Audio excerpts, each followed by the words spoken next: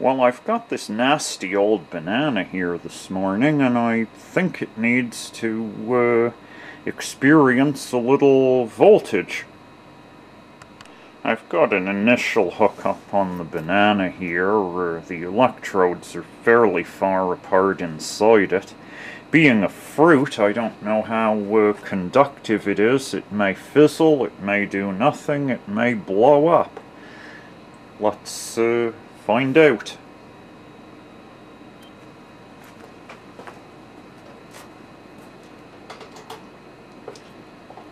Ready? Charging. Bank charged. And fire. Well, we got a small splitting of the banana. Let's rig up and give it another shot. There's lots left.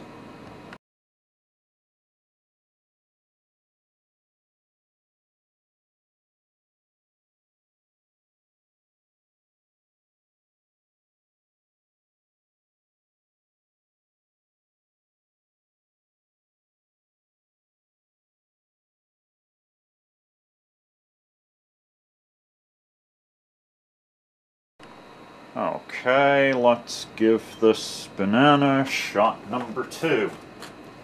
Ready, charging, charged, and fire. Ooh, banana mush, a little more. Well, let's set up and try it again.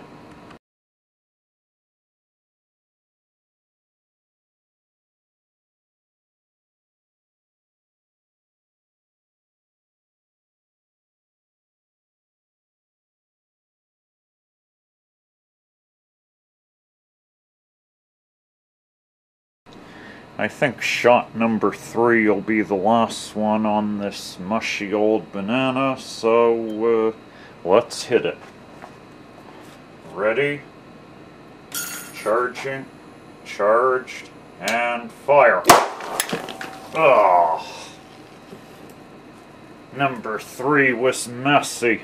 Ugh, sprayed me from head to foot with banana. What a mess. At least it smells nice.